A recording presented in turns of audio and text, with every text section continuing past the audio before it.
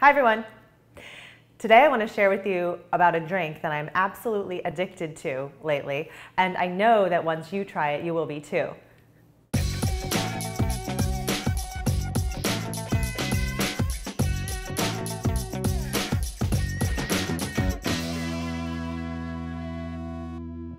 So this one is a watermelon drink. It's so easy and it's so delicious and it's got so many vitamins and it's good for your skin and good for your body.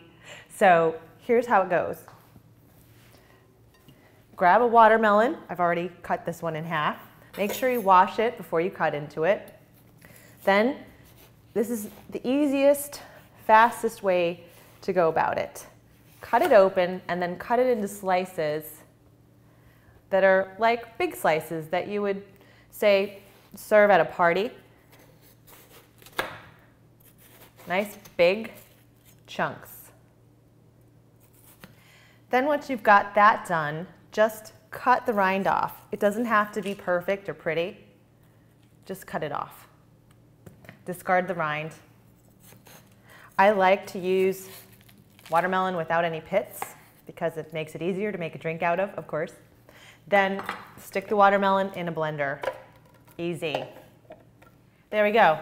I just filled my blender up as much as possible with these watermelon chunks, and now I'm just going to go blend it. Okay, so as you can see, that was about a quarter of a medium-sized melon, and I blended it up. Now I'm just going to throw a whole bunch of ice in there. This is about a cup and a half, so the more ice, the better. Or you, it depends on you. If you want something that's more of a light, liquidy drink, you can put some more you can put ice and then a little more water. And if you want something that's more like a margarita type of a texture, then just do a bunch of ice. Blend it again. So there you go. It took me about five minutes to make that. Uh, a quarter of a watermelon was all I used and it made about 32 ounces worth of drink. So, um, you know, one whole medium watermelon will make a whole lot of juice. And uh, as this warms up a little bit, the ice kind of floats to the top and it makes a nice layering of colors with lightest color on the top and then darkest red on the bottom. It's really pretty.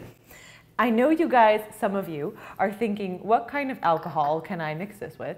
And honestly, you can mix it with probably a whole bunch of different kinds of alcohol, but honestly, you don't need it. You can drink it up during the day. It tastes like you're having such a treat but it's so good for you. It's healthy. Bon appetit.